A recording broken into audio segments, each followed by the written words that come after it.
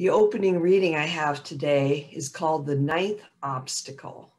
It was written by Laura Solomon, the clergy intern at the Washington Ethical Society in Washington, D.C. And she is a Master of Divinity student at Meadville Lombard Theological School. While it's true we are not being called to war, it is also true that these are challenging times. I would argue that some of us are being called to do far more than sit on our couch. Most of us, in fact. All of us, probably. I understand this meme. We need humor. We need to poke fun at this extraordinary situation, and it's healthy to do so. But we also need to be extraordinarily gentle with one another, excessively gentle, tender even. Some of us are being called to serve vulnerable communities. Some of us are being called to provide comfort, care, and support in new, challenging ways. Some of us are medical professionals and first responders taking risks. Some of us are accompanying the dying. Some of us are holding the fragile mental health of children and adults. Some of us are scared for ourselves or our children or for our parents. Some of us are out of work. Some of us don't know how we will pay our rent. Some of us are uninsured and scared. Some of us will need to know how we will spend days at home entertaining children, which presents myriad challenges for our own mental health or our child's mental health none of us is unaffected.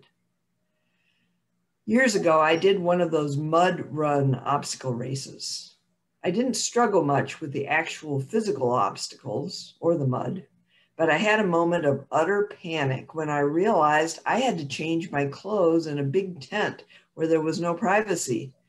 My, fr- my friend had her moment of struggle when we were in line and she had no choice but to wait patiently my biggest learning was that while there were eight physical obstacles on the course, we all had a ninth obstacle. That's kind of what's happening right now. COVID 19 has imposed eight obstacles that we're all contending with, but we each have nine or more obstacles. You have no idea what anyone else's ninth obstacle or 10th or 11th is. You just know they have it. We have no choice but to be gentle, excessively, generously, powerfully gentle. Spirit of life, help us remember to hold ourselves and each other with tenderness and grace. As we meet each new obstacle, let us take three gentle breaths. One for ourselves one for our loved ones, and one for the world. And now I hand over to our own Reverend Gy. Ludwig McCartney for their words of wisdom. Good morning. Um, thank you, Nancy. You just took us to church. I don't know that I really need to add anything to this one. Um, Good morning and welcome. If you're only joining now, I'm Reverend Gy, minister at the Unitarian Universalist Community Church. And uh, I love it that you chose to join us this morning. Um, a few years ago, this was at the, there, there comes Church of the Holy Living Room. Um, a few years ago, Patty and I, Patty's my wife, um, helped Patty's daughter Sarah move down to Austin, Texas and um, we packed a van and a trailer, and then off we went. And it was a very, very long drive. Um, our relationship was still very young. It was our first road trip together. And um, we were listening to books on tapes. We packed food. We still talk about the watermelon. It was the best we've ever had. And um, we learned that we travel well together. So that was a boon. we also figured it out very soon that this is a very, very long trip. And we were not very big fans of it. All that sitting, all that driving, all the way to Austin, Texas. It's a long, long, long drive. Um, we spent two nights in a hotel, and um, we even had a flat tire in Dallas. We dealt with that as well. Um, luckily, we had the flat, flat tire and we looked around, where are we? And there was a discount tire. So it was a very lucky accident. It got fixed easily, fast, relatively fast, and we were on the road again. Um, but the trip, even though we enjoyed the books on tapes, even though we learned that we traveled really well together, we enjoyed each other's company, it was arduous. We just did not like it. All that sitting was hard on our body. If you've been on a long road trip, I, I think you know what I'm talking about. So then, the third day, um, we took off and we're driving, and now we're getting really close to Austin. And I'm sick and tired of all the driving, of this road tripping. And this is what I notice inside myself. I don't want to get there. I want to keep on driving. I really don't want to have to deal with the change of scenery. I knew that when we would get there, we would be united with other people, such as Sarah, her daughter, and there was a larger group that was traveling. So we would all come together. Now we have to interact with each other. Then we have to unpack the van and the trailer. And it's just the whole dynamics is now changing. And even though I didn't like, I didn't love at all being in that van driving, I wanted even less for that to change. And that taught me a lesson about inertia and about human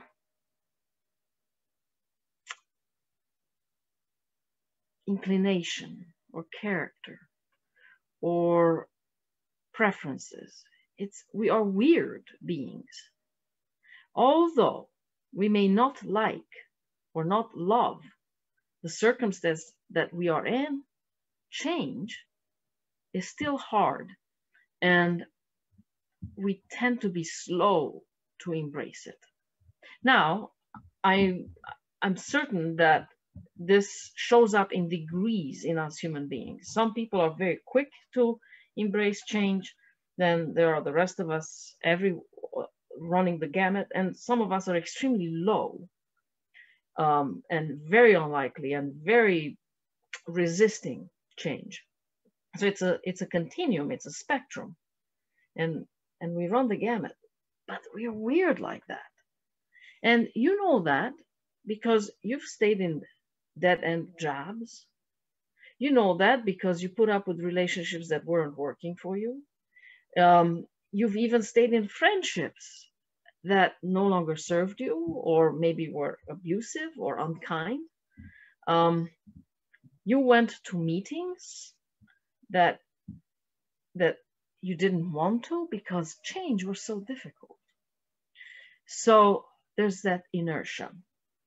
Well, here we are and we're coming, maybe, I think, we're coming out of this COVID um, pandemic. And I'm not saying that with certainty. So I am I am not saying that um, please don't go and say Reverend Gy I heard her on she was on live stream and she said the pandemic is over. That is not what I am saying. There is a shift in the pandemic. And in this country, the cases are going down. There's fewer deaths, and we're so grateful for that. And the economy is opening back up, and the world is opening back up. And now uh, the officials are telling us that we don't have to wear a mask if we have been fully vaccinated, that we can go back to living like we did before the pandemic entered our reality. It's a shift, it's a change. And so I invite you to just look at and go within and see how that is affecting you. all the, what is that bringing up in you? Are you ready for this? Even though you didn't like wearing a mask, are you ready, to let go of that mask? Yesterday, I attended a wedding and I, I officiated a wedding. And uh, so there were people there that I have never met.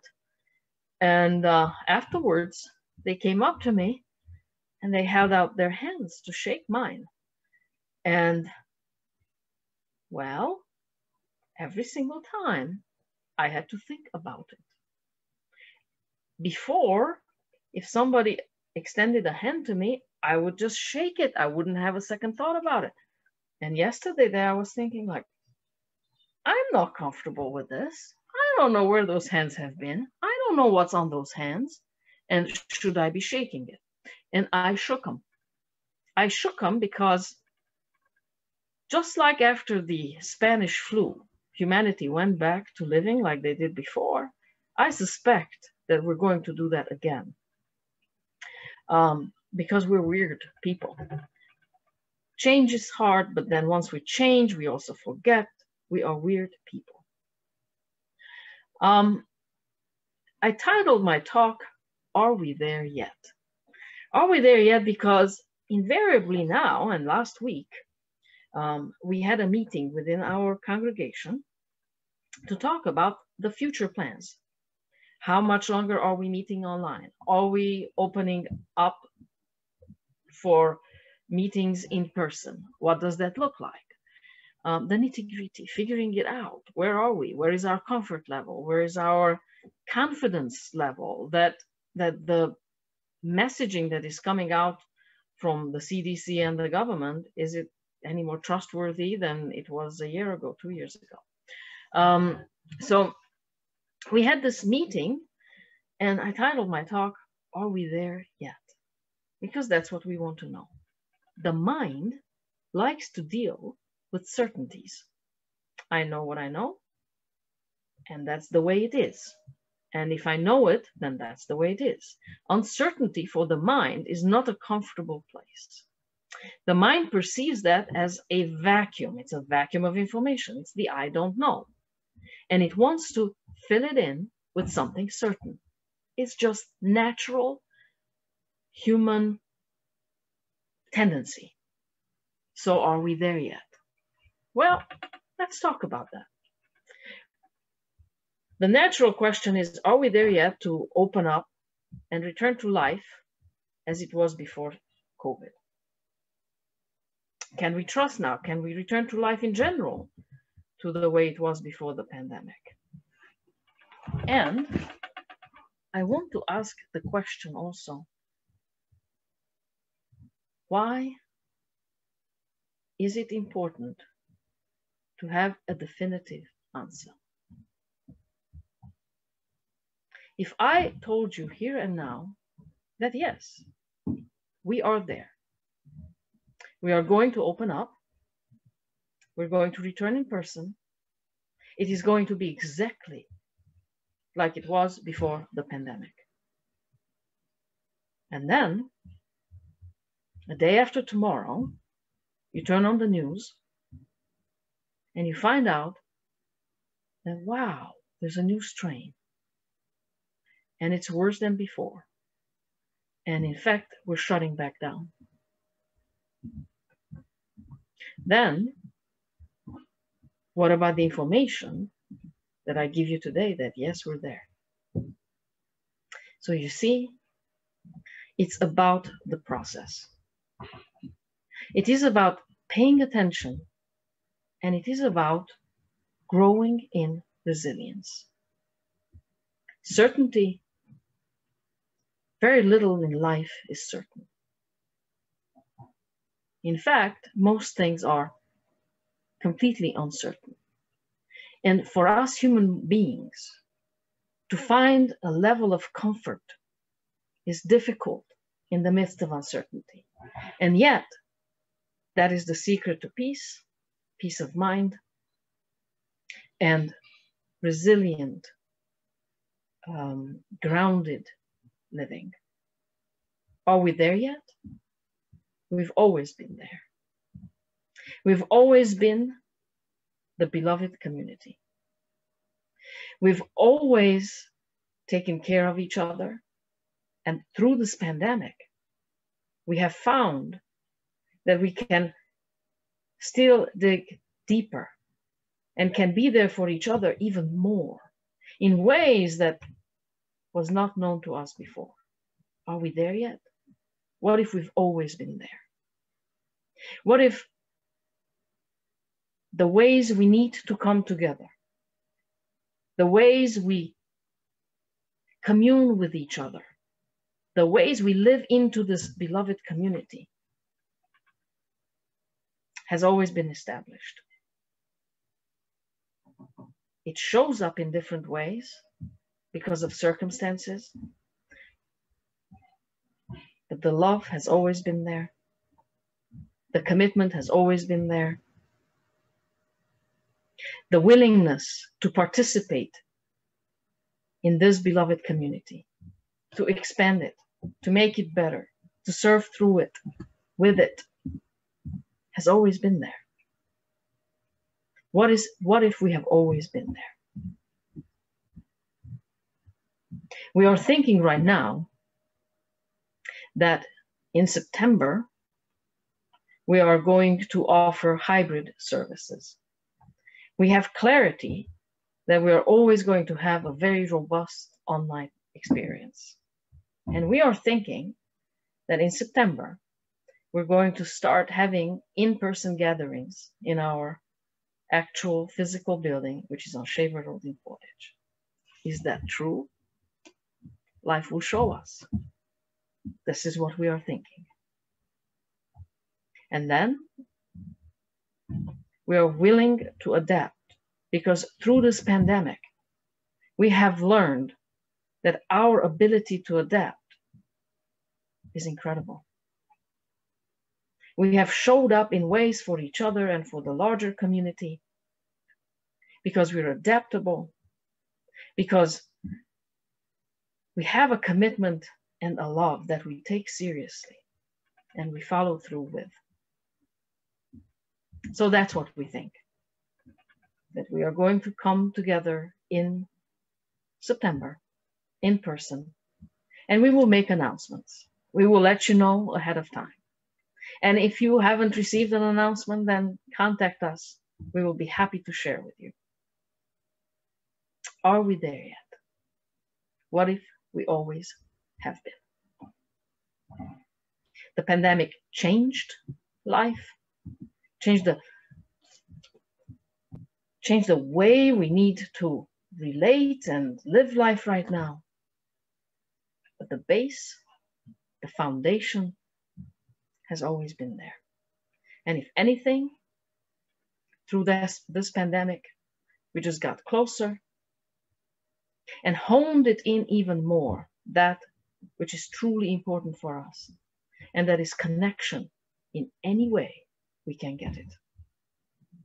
Certainty is something we want, and a certainty is something we can seldomly get.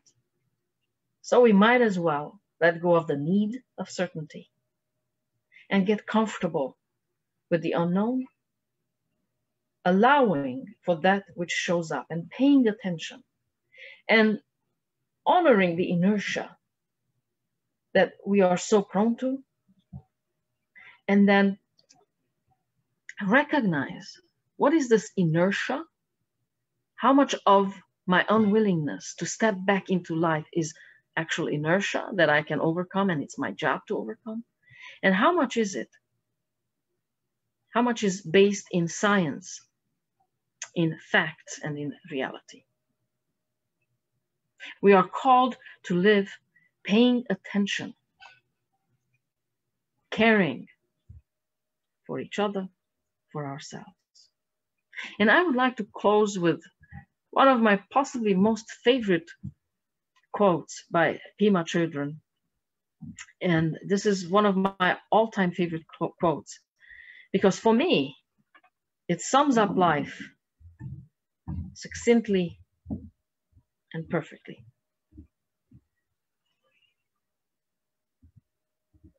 Things falling apart is a kind of testing and also a kind of healing. We think that the point is to pass the test or to overcome the problem. But the truth is that things don't really get solved. They come together and they fall apart. Then they come together again and fall apart again. It's just like that. The healing comes from letting there be room for all of this to happen room for grief, room for relief, for misery, for joy. And so it is.